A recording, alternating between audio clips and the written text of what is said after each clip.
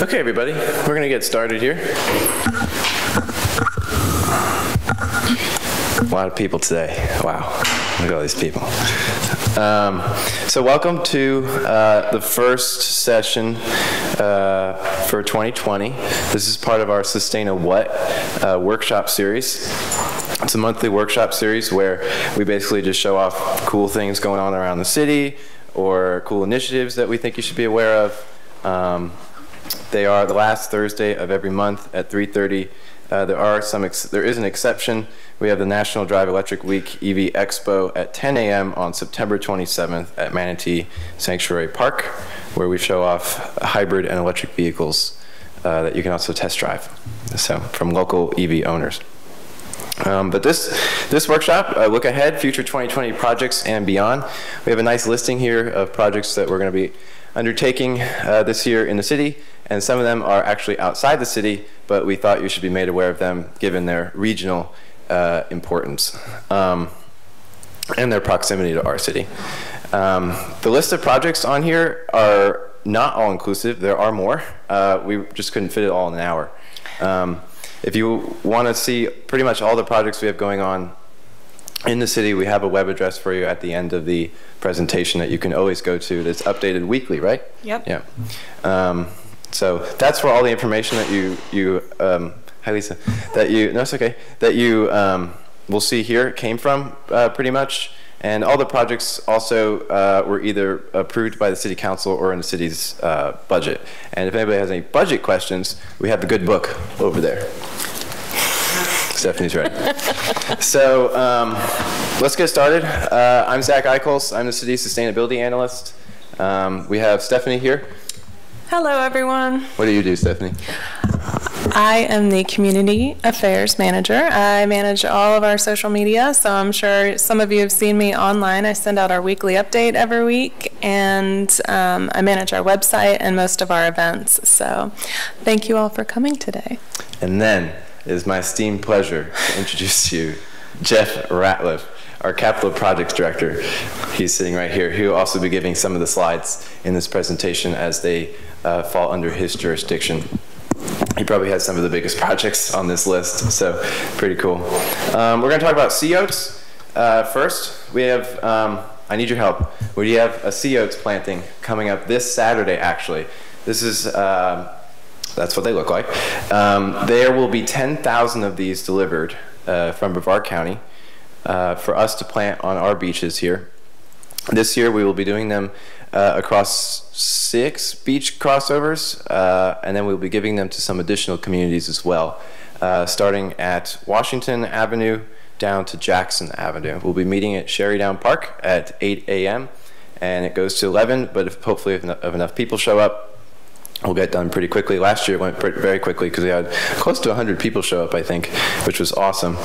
Um, why do we do this? Uh, sea oats is a natural uh, or native plant, I should say. Um, they're extremely um, uh, critical in the in the protection of beach habitat and uh, sand dunes. Um, they when they grow, their root system basically act, acts as rebar would in a concrete building, uh, growing four to six feet down below the sand surface and uh, basically keeping the dune system in place so that it can weather erosion better and uh, from wind and waves. And they also act as a sand trap when, wind, when sand blows across the beach. Um, which can also raise the height of the dunes, which is something we like because it, it is that natural storm protection should there be, ever be a storm surge or some wind event. Um, so, uh, it's just great public outreach too to get the, the neighborhood involved.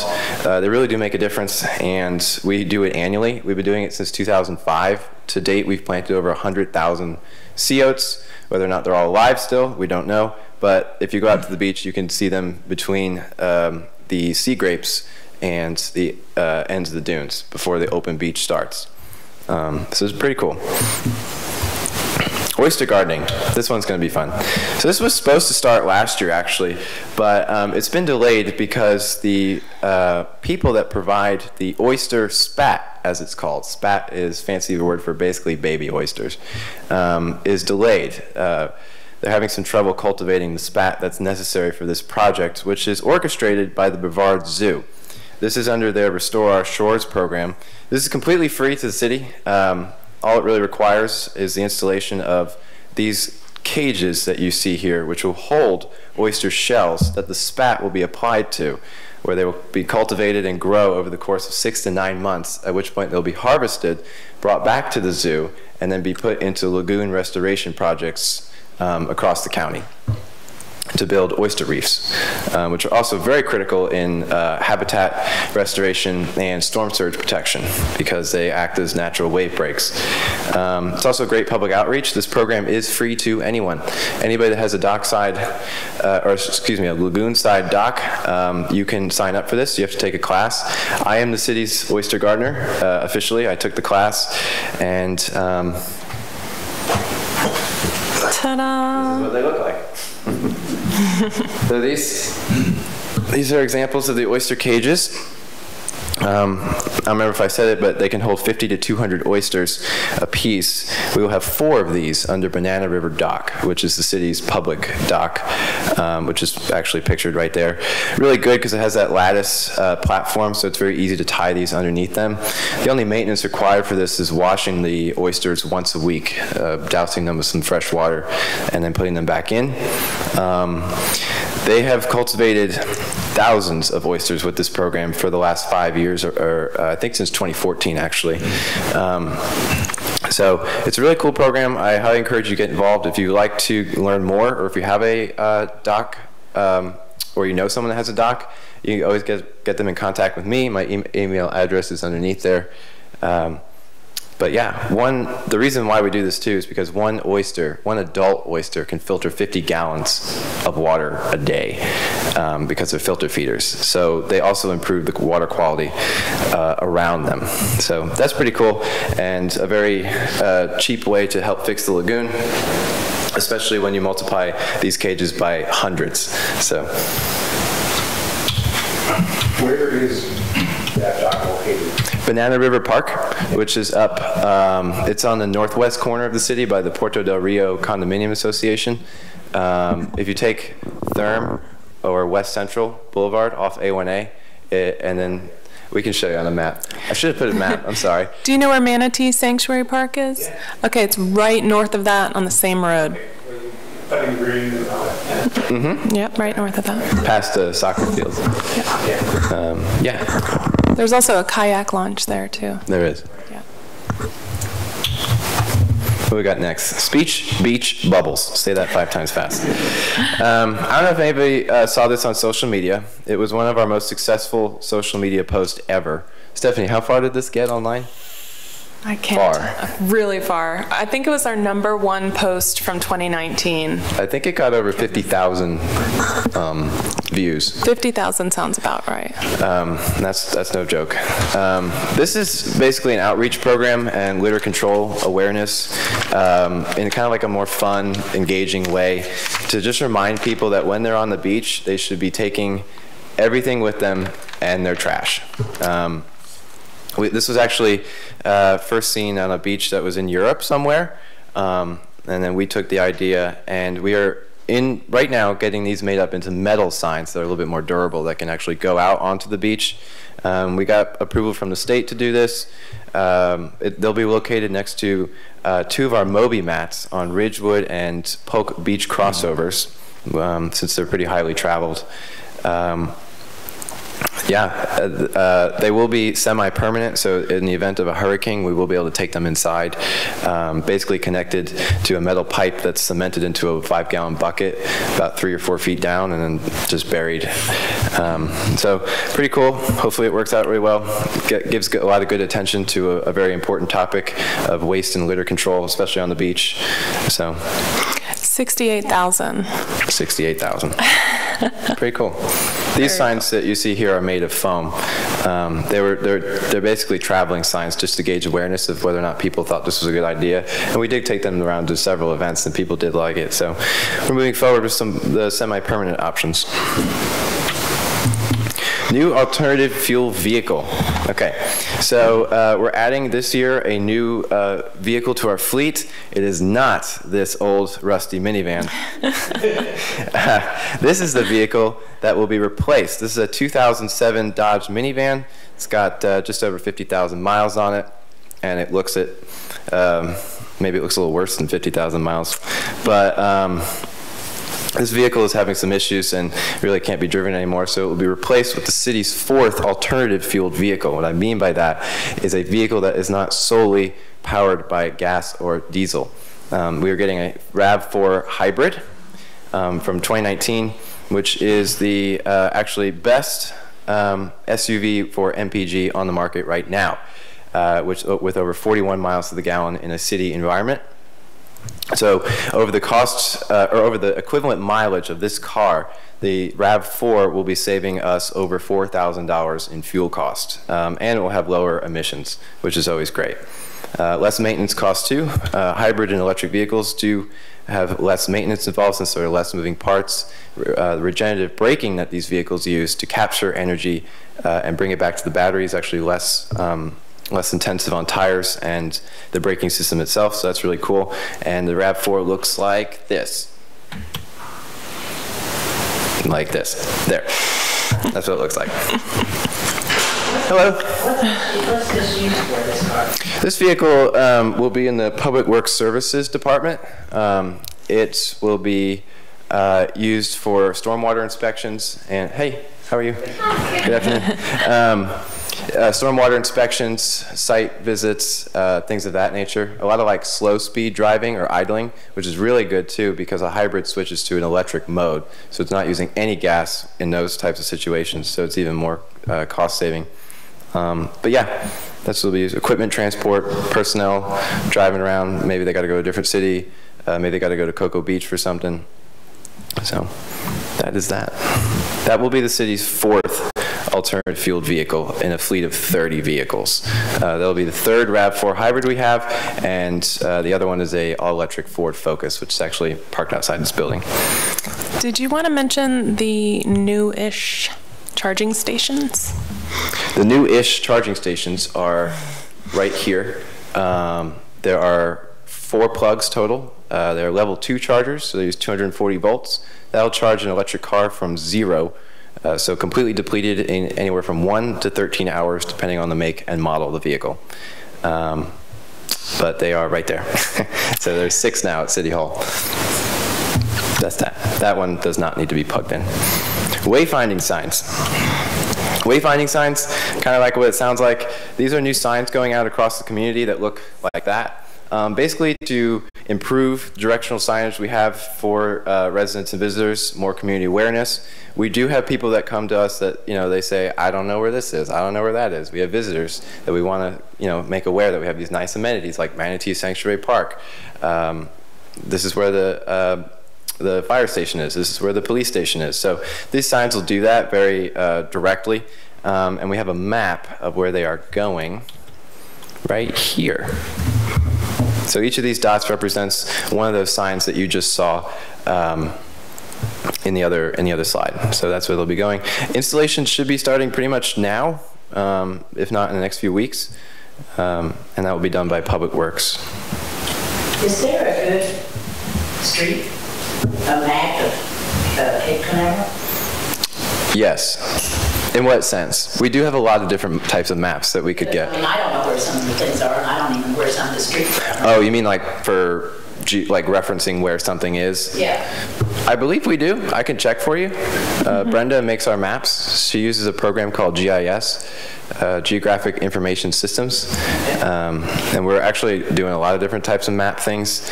Uh, yeah, like we just Jeff uh, mapped all the stormwater outlets where those go. Where all the we have a map that shows where all the fire hydrants are in the city. So I will check. thank you.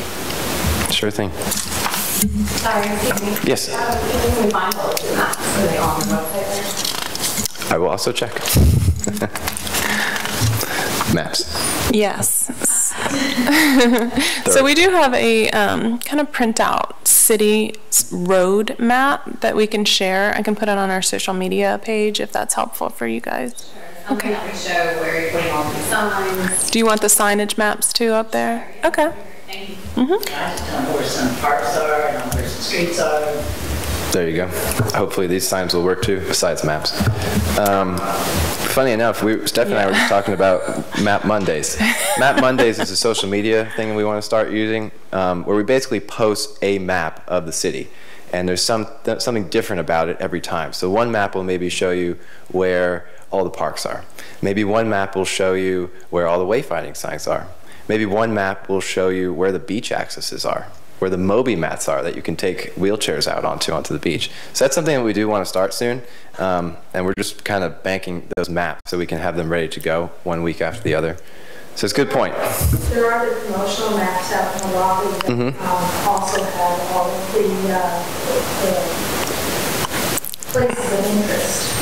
Um, I'm not sure if that would help you with common things, but um, if there's one at Cape Canaveral, and Foot River, and Cocoa Beach, or, um, and that, Oh, the, the, the colored ones in the the color, corner, yeah. as well. Right, right. Those also have those types of things. um, Cool. Wagner Park expansion. Has anybody been to Wagner Park? Is that the one on North Atlantic? It is. Oh, Yeah. cool. No. but you know about it. That's good. Uh, Wagner Park was a, a pocket park that we finished up late last year. Um, it is getting an expansion, actually. Uh, the property was donated to us by the trailer park across the street, which is very nice. Um, but they also donated a small patch of land on the opposite side of the streets on, on their side, um, which would be on the west side of this park. Um, so that, that little patch is going to get developed basically just into another little sitting area. Um, this park was designed um, basically to become uh, an amenity for the East Coast Greenway Trail, I believe it's called. yeah. Uh, it's a bike trail that runs along North Atlantic. It's actually a part of a program that it runs the entire length of the United States on the East Coast from Key West to Maine. Um, and North Atlantic is designated as a part of that trail. So that's why it has a lot of bike amenities like uh, the water fountain, the Peacock bike rack, the fix-it station, seating, um, and things of that nature. This is also a stormwater park, and what I mean by that is it can it's designed to capture stormwater, which is any runoff that runs off of streets, driveways, sidewalks that doesn't get allowed to go down into the soil as it normally would to be naturally filtered. The water can run off the street there or the sidewalks and run through these rocks uh, and these native plants. They're all Florida native plants. Um, and even down through that black uh, uh, tarmac-looking material, that's that's not concrete, that's not asphalt. That's a material called FlexiPave, which is actually made from recycled tires. That is totally permeable. If you poured a uh, water bottle over it, the water would just disappear right through it. And then on the far left of that image, by the fence, you can see a little depression. That's a bioswale um, with native plants inside of it, which is designed to hold water, keep it there, and let it filter down into the ground where it would be uh, naturally filtered before just running off into um, a drain where it would get unfiltered going into the lagoon. So that's what this park does as well. Um, it's also designated as a monarch butterfly way station. Uh, if you go out there, I guarantee you, uh, you will see monarch butterflies. There are milkweed plants planted right in the middle of that little uh, island there. Um, I see them every time I go out there, so it's pretty cool to see that. There's also a little free library Oh yeah, there is. that's going to be dedicated next Monday at 2 if anyone wants to come. All right. Can't tell me that anybody else, like Cocoa Beach or Merritt Island or Rockledge or any- has something like this, right? I I, can't believe, do you know of any? I don't- are we, We're pretty innovative here in Cape Canaveral. that's what, that's what I'm saying. I can't, I mean, we we try and be pretty cool. Thank you. Uh, next, please. Oh, wow, I forgot about this slide. This will show you actually where the expansion is going. That would be helpful. Uh, you can keep clicking, Stephanie. So there's the existing uh, spot of Wagner Park. It Used to just be a parcel of land, empty land. And this is where the new parts, the new section's going, that tiny little pad right there. There is a crosswalk too that will join them, and it will be getting those, um, I can never remember the acronym's name, but they basically blink when you want to cross the street, except these will be um, in-ground. So it'll almost look like an airport runway, where you, uh, you, have, you know the little reflectors that you see on a roadway that light up when a, when a light is shined on them? These are, um, they look the same, but they have a small solar panel on the top, and they have LED lights, so they blink on the bottom, uh, so it looks like the roadway itself is blinking um, whenever somebody presses the button. So that's what that crosswalk will have right there. Pretty cool. Flood barriers. Um, I hope Jeff comes back because his part's next. Um, so, Water Reclamation Facility, or WRF. Um, we live in a very vulnerable location. We get a lot of hurricanes, we get a lot of rain. The water reclamation facility is located right next to the Banana River Lagoon.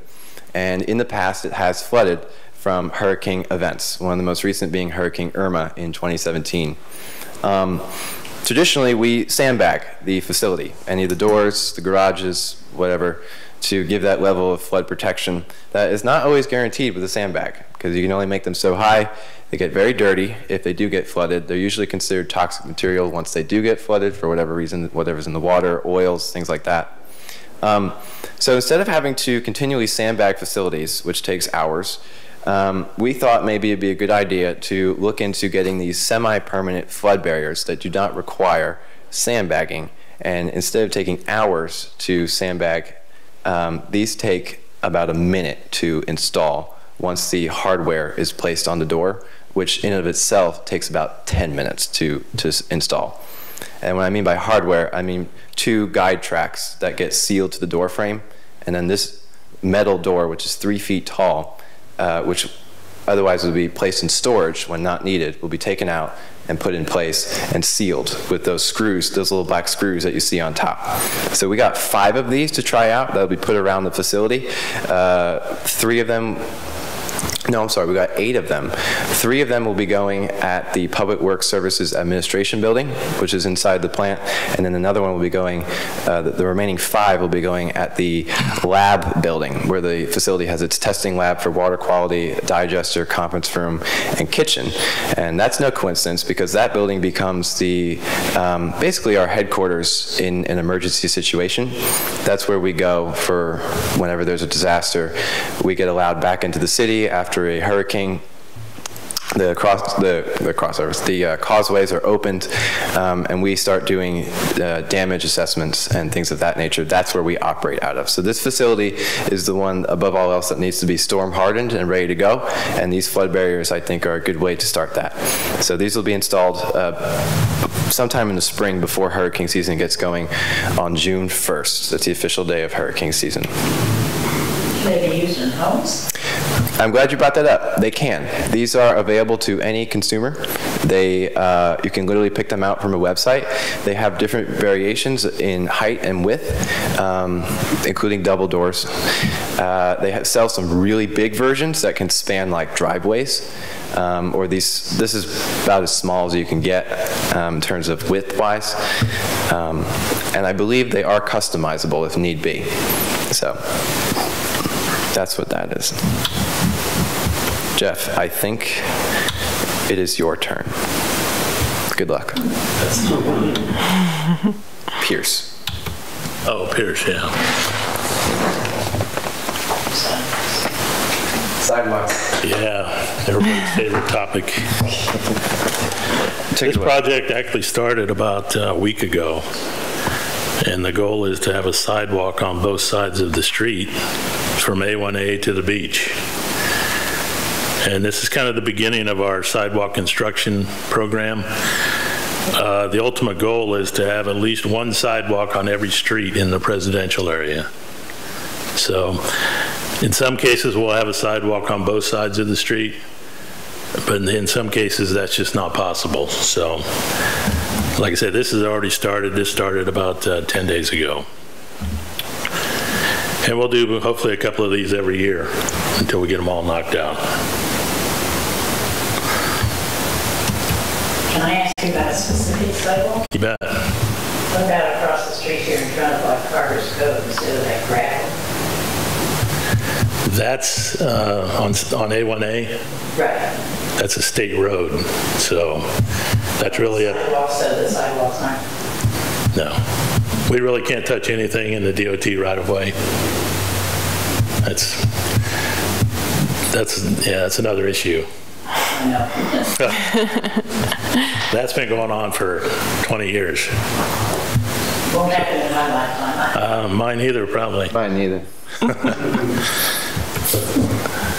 Uh, Next is our wastewater treatment plant improvement project. This came in at about $1.3 million. Uh, This is just a general upgrade of the plant. Uh, It was built in 1966. It was upgraded in uh, 1995. So as you can tell, it's kind of due for another upgrade, but uh, We're going to be putting in a lot of new monitors. It'll give us uh, real-time data for the operators. We'll be putting in what's called a carbon feed system, which will improve the um, nitrogen and phosphorus content in our uh, effluent. So it's, it's almost a a lagoon uh, project because our, um, our reclaimed water will be cleaned up significantly. But that'll be starting here again too very shortly. Um, We have a contractor on board, so probably in about two months, we'll be starting this one. Next. Uh, Polk Avenue drainage improvements. Uh, This is a fairly simple project.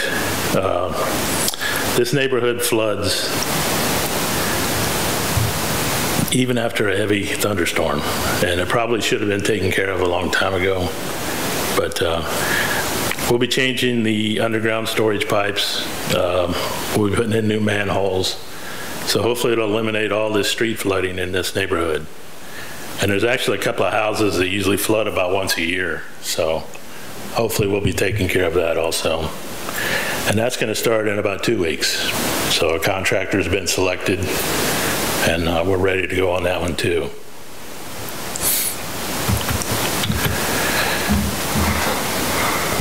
Long Point Estuary Park. Does anyone know where this is at? At the end of Long Point Road? I haven't mapped it up. Uh, This is an eight eight acre property at the end of Long Point Road along the Banana River.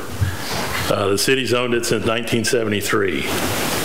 They really have never done anything with it. It just kind of sat there. And of course, the pepper trees took over. So the city got some grant funds from St. John's, and um, we've eliminated the pepper trees. And now we're going to start some the other phases of uh, turning this into a city park. And the first phase, we're going to build a nice boardwalk from Long Point Road out to the Banana River. That's phase one.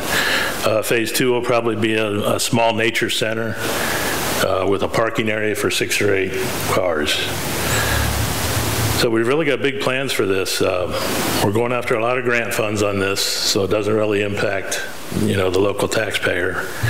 But we have, uh, we have big plans for this park. I think it's going to be very nice. When's it supposed to be completed? We're working on some grant applications right now for the boardwalk. You know, the boardwalk's over a 1,000 feet long, so it's incredibly expensive. So we have to get some grant funds to cover the costs. And uh, the application we're working on now is uh, due in March. So we should hear something probably in June, whether we get those, get those funds or not.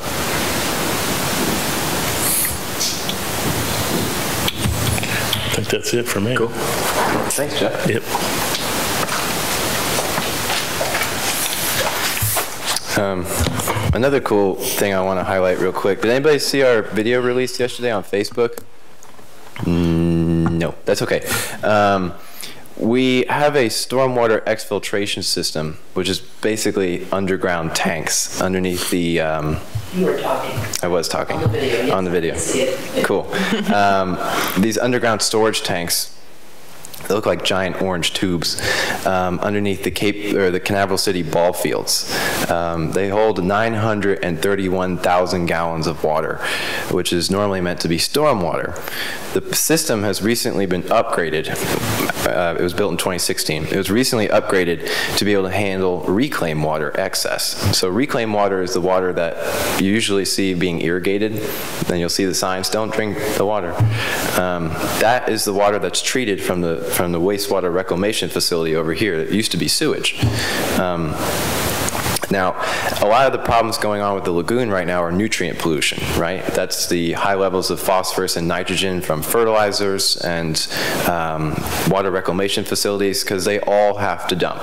That's just a thing that has to happen if we want to have sewage, basically.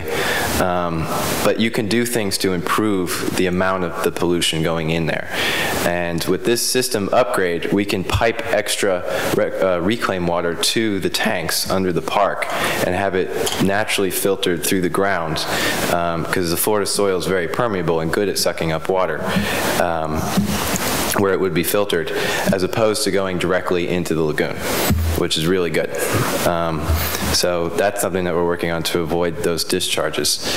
Um, that's something I just want to tell you guys. Pretty cool project. We can play the video at the end of this presentation. Oh, yeah. I love hearing myself talk. Yeah. Um, I have a question related to that. Does that mean that the city does not use all of the reclaimed water for, for residential irrigation? Mm-mm. So you're, so you're essentially wasting that? Jeff, you want to answer that? Well, the only alternative is to put it in the Banana River, and that's what we do. Well, what I'm, what I'm getting at, is there any, any possibility of extending the reclaimed water system? Uh, that opportunity is there, but most residents are already hooked up. We're So not. we're not, uh, we don't have it on Oak Lane. Yeah, we're on Oak Lane, we'd love to have you. Yeah. Well, there's plans for Oak Lane, uh, and I'm sure you're aware of them. We'd love to know more about that. Yeah, you should stop by sometime and we'll fill you in.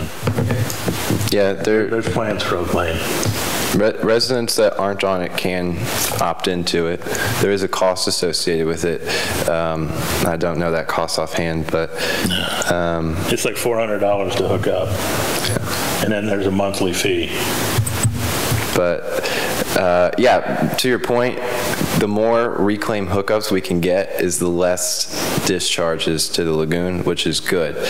And that's why that system was upgraded to be able to have that extra 931,000 gallon capacity. Um, this building actually incorporates the same type of stormwater system, but it does not have a reclaim uh, holding capacity. That giant tank, Stephanie, you want to go back one to that aerial photo? That giant tank you see there in the left of the image is the newest of tanks. 2015, Jeff? Around there? Yeah, 2015. It's 2.5 million gallons capacity. Um, so that really helped with that too. Basically, the more capacity you can have, the less chance you can have of having to discharge the lagoon. Um, so that's why that giant tank is there. To answer your question, no, we, we do have too much reclaimed water. And when these tanks are full, there's nothing else to do with it except, you know, pump it into the river. Um, Cape Center. Uh, the Cape Center is, uh, or will be, uh, the 2.0 version of Old City Hall, which is this building right out here, um, which was built in the 60s. Uh, this building will be getting uh, top to bottom, basically redo um, to look something like what's in that rendering right there. I'm sorry I couldn't find a better one. Um, but this will be turned into our cultural and arts heritage and education center, a place to go, to go for the community to show off the cultural and, and historical artifacts of the city, uh, the canoe, for example, that's in City Hall right in this room on the other side of that door. If you haven't seen it, recommend. Um, there was the canoe that was washed up during Hurricane Irma, will be being transferred over to there. So it's just an example of one of the artifacts that will be uh, in this building. We also have classroom space um, for various multi-purpose educational platforms and um, for, for art classes too, I think. Is there um, like pottery and stuff? That's what they're talking Yeah. about. Yeah. That's pretty cool. Um, and one of the really cool things about this building is once it's built, it will, or uh, rebuilt, I should say, it will be one of the first uh, solar buildings in the city. Stephanie, press next, please. So this might be a little hard to read, but um, the little uh, rectangles that you see lined up next to each other in the middle of the red, yes, those, um, those are solar panels. These, uh, this array will have 33 kilowatts of capacity at peak hours with an estimated annual energy output of 38,129 kilowatt hours.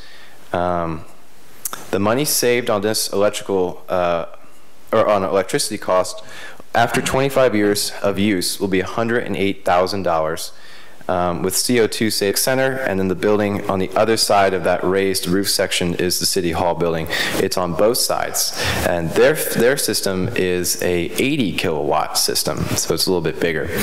When this, uh, when the Cape Center solar array is pumping electricity out uh, during the day, it will be able to achieve 100% offset, which is really cool. And then at night, when the sun goes back down, it'll be sw switched back to the grid. But of course, nobody will be in the building, so you're not really using that much electricity.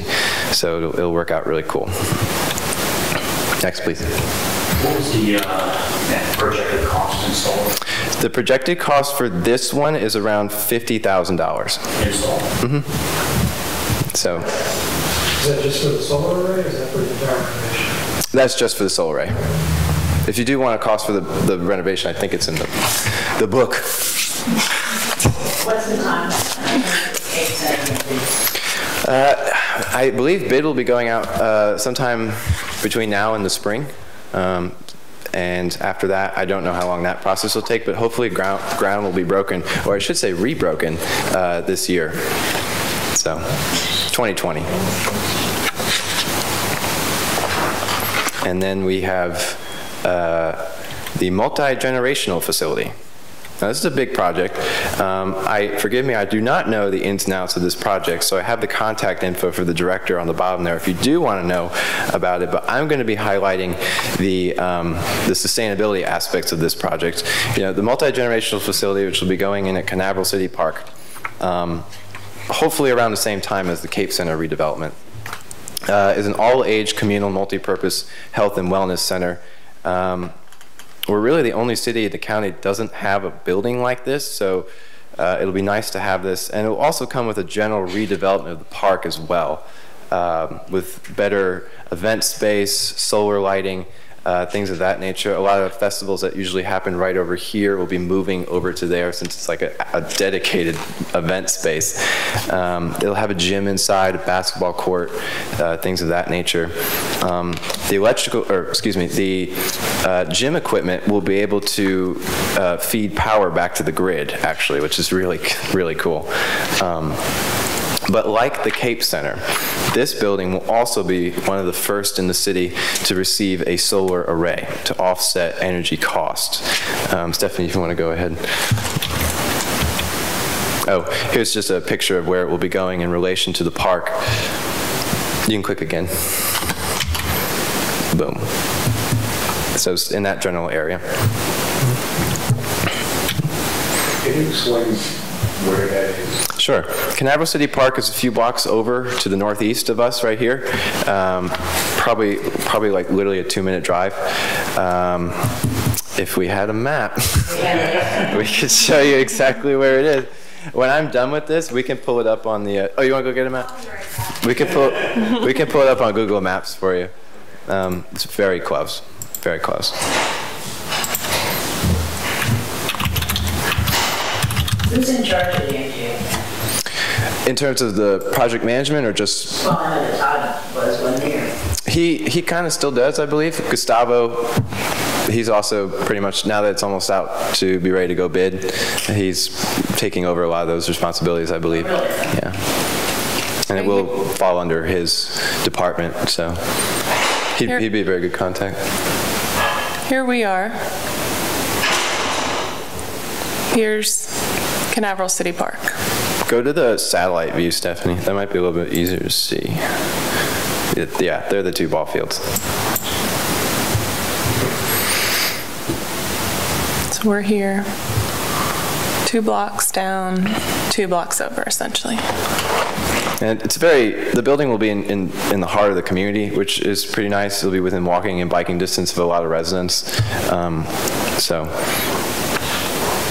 become a really good focal point.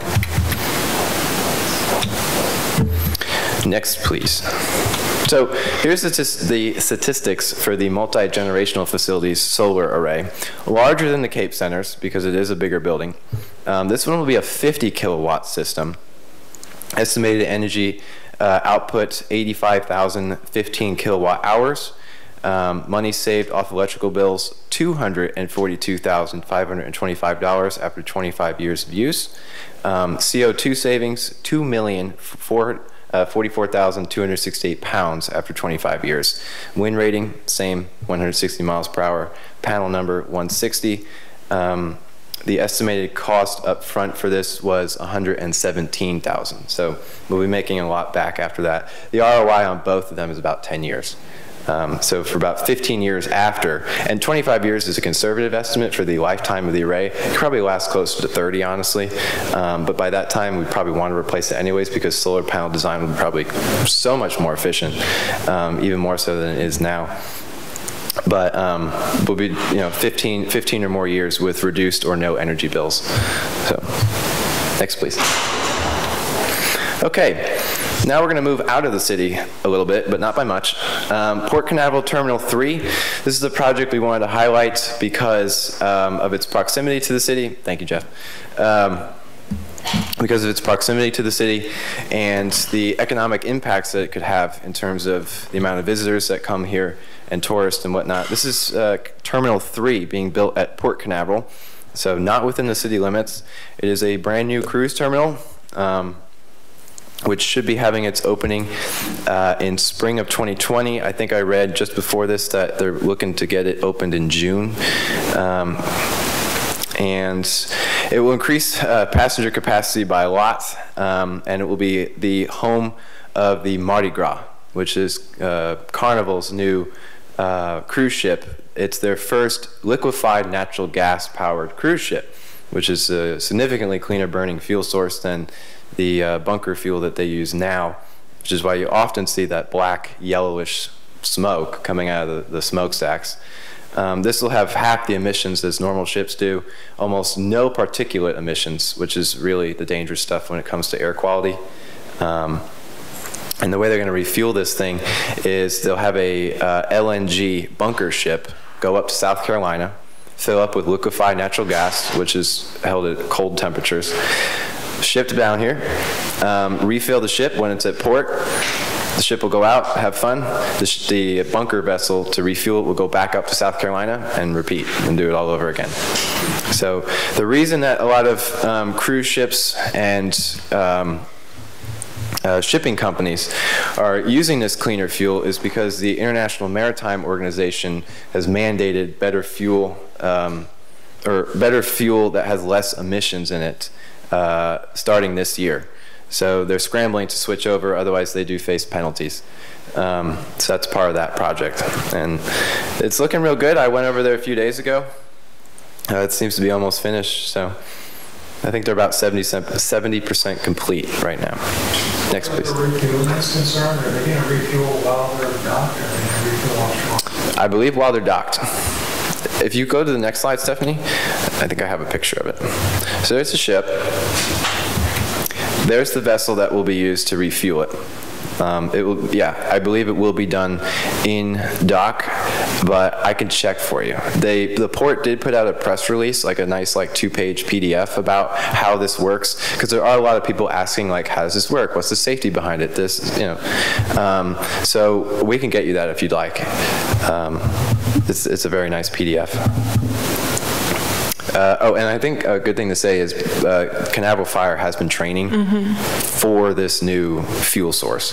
They also Um, have a new fireboat specifically directed at this. Oh, And you'll cool. see in the upcoming weekly update that comes out Monday, some pictures of the firefighters training different scenarios, putting out, you know, potential disaster fires. Next, please. Okay. Virgin Trains East Coast Railroad. Who's heard of this one? Okay, cool. This is a very big project for the state of Florida, and probably for the country, I would argue. Um, this will be the first private railroad in a very long time in the United States. Um, a lot of you might be thinking Amtrak. Amtrak is a government, um, private, or government company, basically. I don't know how best to put that. Um, but this is a completely, completely private funded railroad.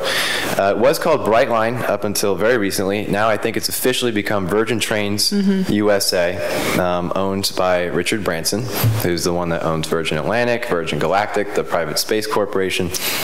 Um, He doesn't entirely own Virgin Trains. He actually uh, negotiated a deal where they're licensing the name Virgin Oh, and using him as the face of the company to promote its success. And it actually is the largest construction project in the United States right now. really? Yeah, private construction project. I wish I. That's Pretty crazy. I think uh, $4 billion is what the right. price tag is right now. So if any of you have driven on 528 heading west um, to Orlando, you will have noticed probably by now massive construction project going on. That is this railroad. Um, right now, it currently runs from uh, Miami International Airport to the city of West Palm Beach which are those three dots uh, in the lower part of the state right there. The second phase expansion, which is what you're seeing under construction right now, brings the line all the way up to Orlando International Airport, where they have actually finished the station um, and are starting to lay track work there. Uh, I think it's the first place in the phase two expansion where track has actually gone down. Um, it's part of their new Terminal C construction. Really cool fact about the steel. All the steel being used for the expansion of the railroad is 100% recycled. That's pretty cool. Um, and they do expect uh, that this will take 3 million cars off the Florida roads. I hope that holds true. Um, so this is part of a, a larger plan too to extend the railroad to stops like uh, Walt Disney World, which is in uh, high-level negotiations right now to try and get a stop. Probably, probably will. And then, as this map shows, go on towards Tampa. They also have plans to go up towards Jacksonville. Um, so continue the line straight up east. There are plans, but not within the next few years, to have a station in Brevard County. Right now, uh, and you can correct me if I'm wrong, Cocoa and Melbourne are the big candidates to get this proposed station. Other stops along the way might be Fort Pierce. Um, Boca Raton has uh, officially been confirmed to get a station. I think Aventura and Port, can, uh, excuse me, Port Miami, not Port Canaveral. Um, so, but that is not expected to happen at least within the next five years in our area. The line itself should be seeing rail service daily by 2022. Um, they're building at least uh, four different bridges out west from 528. Um, I think a tunnel's even being built uh, under 95. Yep, so it's going to run the north part of 528 until it hits 95, okay? And then it's going to go over 528 to the south, and then, or wait, wait, under 528 and over I-95, and then it will continue running west to the airport, because the airport lies south of 528. Crazy. Yeah. Um, there will be there will be sections of the line where trains will travel over 100 miles an hour. Um, they do expect a passenger to be able to uh, get off a plane in Orlando, get on the train, and be in Miami within three hours, which is a lot better than a car. Um, but yeah, that's what that's what this is all about. Big big thing for the state. Um, so we'll see how that continues to unfold. Next, please. I'm all for, I'm all for this stuff, and I think it's great. Take the cars off the road, because there's no place else to go. Vir- uh, Virgin Trains is uh, also breaking ground in a rail service out in Nevada. Um, so their business is expanding. I guess something's working for them. Yeah, they're going Um, to do a Las Vegas to Los Angeles line. Oh wow. Yeah. Their high-speed rail uh, is probably long overdue in the United States. A lot of other countries do it very well. Um, there's a, group, a separate group out in Texas trying to build a high-speed line, um, and then I know Amtrak uh, is trying to get more uh, better. I guess is a good way to put it. Um, they're uh, redeveloping a lot of their northeast corridor with their Acela train, which is an electrified train that, that has that uh, cable on top. So train travel is coming back, um, and Florida's right in the middle of it. You can follow us um, on any of these social media platforms. Weekly update is um, an update that comes out weekly every Monday, um, which Stephanie sends out. Um, Revised. it is revised. Next. Okay, so that web address I told you about in the beginning of the um, the uh, presentation, that link right there will get you to a uh, constantly updating list of city projects. All the projects that you pretty much saw are on that, except for a few, um, like oyster gardening's not on there. But uh, I guess Stephanie, are you going to that? Yeah. Yeah. What is the city's fiscal year? October to October. October 1st to September 30th. Yes. Thank you. You're right. October monthly session. Show them. These these ones are labeled 2020 and 2021 capital improvement programs. Have they done, some of them, whatever? Uh, Like I said, a couple of them are going to start here, you know, in a couple of weeks. Uh, Most of them, most of them are budgeted, yes. Okay.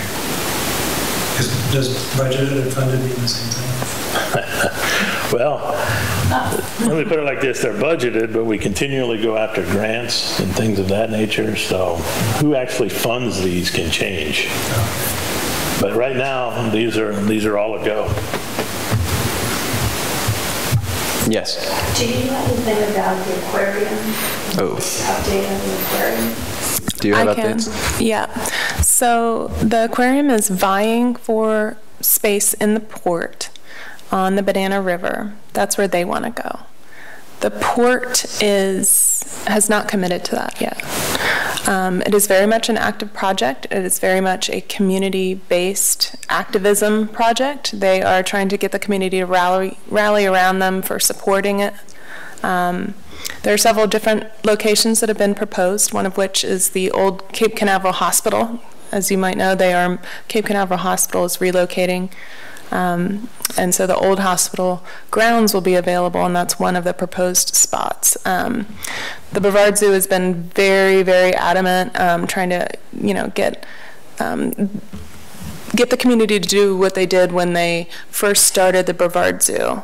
And that was entirely based um, from community activism to get that up and running. So they're trying to recreate that, that sort of community unity to get the aquarium here. Um, Cape Canaveral has no committed funding to this. So we are not involved in any way except for um, supporting the project in its entirety. So um, not fiscally. Did you have any more specific questions around it? Okay, yeah. So yeah, this is the web page that has all the projects. Uh, each of those links uh, or those tabs is expandable um, or with a little drop down. So you can just choose whichever one you want and it gives a little blurb about it. And it's updated weekly, as I said. Mm -hmm. and I did want to show you that video. Let's see if I can log in. You gonna show them my video? If I can get if I can get on to Facebook. this is a shared community. You ever not like to watch yourself in a video? While she's doing that, the next uh, workshop we're going to be having is on uh, February 27th, which is a Thursday at City Hall here. It's at 3:30 p.m. Uh, it's an hour time slot like this one.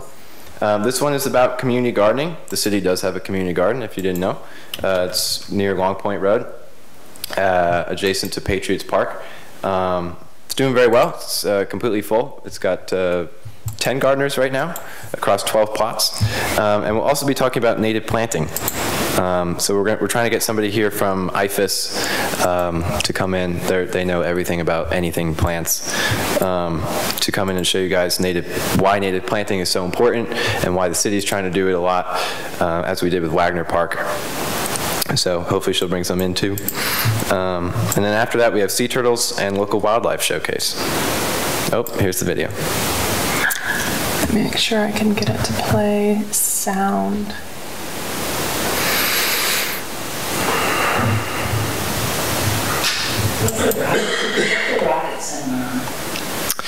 Um, that will showcase upcoming launches for the year, in this case, 2021. Mm -hmm. There's me, but you can't hear me. Lisa, it's not going to play sound, but I can certainly send out the link to anyone who'd like it. I can But you can see, it. you can see in, yeah, there you go. In the pictures you're can looking. narrate it. Why don't you- Basically, Why don't you narrate it? There we go. We'll start from the beginning. Yeah, okay. Basically, what I'm saying um, is, hi, I'm Zach Highcolts. I'm the City of Cape Canaveral Sustainability Analyst. and today we'd like to tell you about a project that we're really proud of. This is the Stormwater Exfiltration Project, which is underneath the Canaveral City Park ball fields, which was built in 2016. Those are those orange underground uh, stormwater chambers I spoke of that hold 931,000 gallons of stormwater um, which is equivalent to, uh, or it has a catchment area of about 30 acres. Um, so this was built, those are the ones under City Hall in that particular photo. Um, this was built in the place of a traditional stormwater pond. So a lot of lakes that you see around, uh, if you've ever been out to the avenues in Viera, there's big lakes around them. Those lakes are to capture stormwater runoff because it's all those of that paved surfaces. So that's what this system is doing. There's our water reclamation facility on the Banana River Lagoon. Um, there's that 2.5 million gallon tank I spoke of. Um, this is the facility that pumps the reclaimed water out to the city and to the uh, exfiltration system under Canaveral City Park. Um, the downs, this shot is trying to indicate that the downspouts of City Hall, they disappear into the ground. They are disappearing to filter into those tanks. So that's where they're going.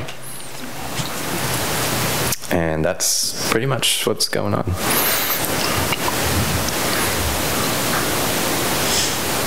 There you go. Cool shot. Yeah, very good shots. Good drone footage.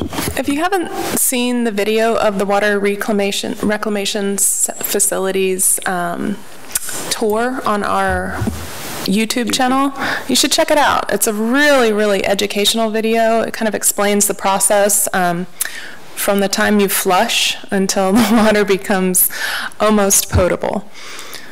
Yeah. It's very, very interesting, something I never knew anything about, so super educational. I think you were asking where Banana River Park is. That's this park here. Okay. Here's Manatee, here's Banana River, here's the plant. Thank you. There it is. Are there any plans for, what used to be that miniature golf place across from there? There are, but I don't really know that.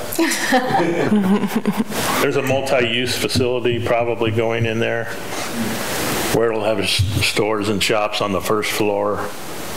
And like floors two through five will be apartments. Right. I believe that's the plan for that property. It's like a mixed-use building. Yes. Yes. Uh, Are there any more questions before we wrap up? It is 4:30. You're always welcome to come up after to talk to us. Quick question about um, Manatee Park. Um, I've noticed that there's been a lot more, um, I guess you could say improvements happening there. There's, uh, what's that thing that we saw on the bike? Um, All the different tools. for The Fix-It bikes. Station. Yeah, uh, that, and then also what the, um, the bikes that they have there to rent. Zagster. Yeah, is that, is that, are you, got- or is the city in any way incorporating, um, any sort of, um, what's the word where the cruises come in, uh, you can do an excursion? Or in the city and the port have any kind of, um, cooperation or anything like that where they're, you know, like you come in from, uh, cruise and you can do an excursion and it goes to a specific place, like Motu Park or something in Cape Canaveral? Is there anything on like that? Any kind of collaboration between the port and the city? Not to my knowledge, no. To your point about the bike share program, um, the, they tried to get one at the port, but for whatever reason that fell through. Uh, we have three of those stations in the city. One is at that park, one is right here. Uh, if you will go out this door, you can see it. And then another one is at Canaveral City Park, where the multi-generational facility will be constructed. Um, and between them, there's over two dozen bikes. Uh, and then that system connects to Cocoa Beach, which also has additional stations.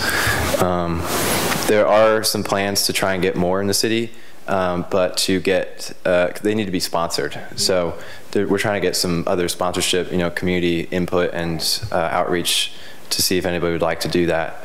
Um, no promises, but at least trying to get one more station in the city somewhere.